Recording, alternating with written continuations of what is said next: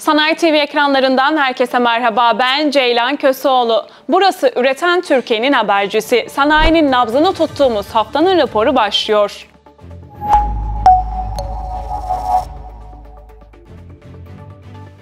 Sanayi ve Teknoloji Bakanı deprem bölgesindeki KOBİ'ler için yeni finansman desteği sağlanacağını belirtti. KOSGEB ve Japonya uluslararası işbirliğiyle toplamda 20 milyar Japon yeni işletmelere destek olarak verilecek. 36 ay vadeli ilk 24 ay ödemesiz, kalan 12 ay içinse faizsiz 3 çeşit taksit imkanı tanınacak. Küresel iklim krizi mücadelesinde temiz bir çevre için Türkiye'de adımlarını atmaya başladı. Üretimin temel taşını oluşturan sanayiler artık yeşil sanayi adımına hazır. Konuya ilişkin bir adım da Edirne'den geldi. Edirne valisi kentte başlatılan yeşil sanayi adımı kapsamında ilk tahsisin Tarım Kredi Kooperatifleri Genel Müdürlüğü'ne yapılacağını belirtti. 3 organize sanayi bölgesini faaliyete geçirmiş durumda olduklarını ve işletmelerinin tamamlandığını da ekledi. Şubat ayında yaşadığımız asrın felaketinde 11 ilimiz ağır hasarlar almıştı. Bu depremden birçok sanayi bölgesinde de yıkımlar yaşandı ve üretimler bir süreliğine durdu. Türkiye'nin en büyük OSB'lerinden olan Gaziantep OSB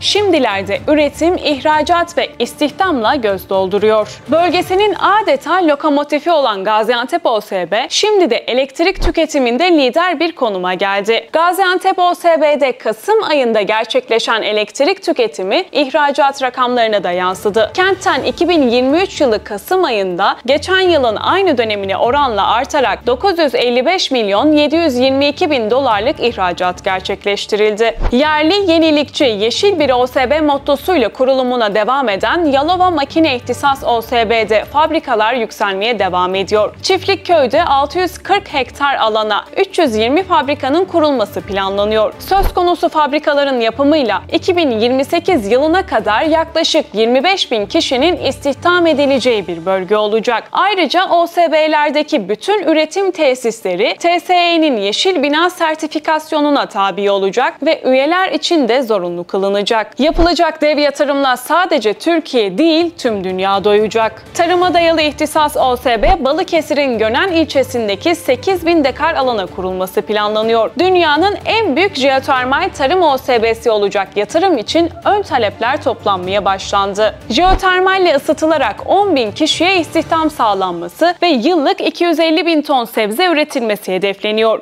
Türkiye'yi doyuran il sloganını benimseyen OSB başvuruları 1 Aralık 31 Ocak tarihlerini kapsayacak. Bu OSB ile tarıma dayalı ihtisas OSB'lerin sayısı 58'e çıkmış olacak. Tarım ve Orman Bakanlığı çiftçi kayıt sistemine yapılan başvuruların 2 Ocak 2024 tarihinde sona ereceğini duyurdu. ÇKS başvuruları hem il ilçe müdürlüklerince hem de E-Devlet kapısı üzerinden yapılabilecek mülkiyet ve mirasçılık sorunları sebebiyle hibe, tarımsal kredi ve devlet destekli tarım sigortalarından yararlanamayan üreticiler de bu imkanlardan faydalanabilecekler. Vatandaşlar Bakanlığın dijital dönüşüm adımı olarak uygulamaya alınan Tarım Cebimde mobil uygulamasını da tercih edebilirler. Haftanın raporuyla karşınızdaydım. Bir sonraki hafta tekrar görüşmek dileğiyle. Kanalımıza abone olmayı ve bizi takip etmeyi unutmayın. Hoşçakalın.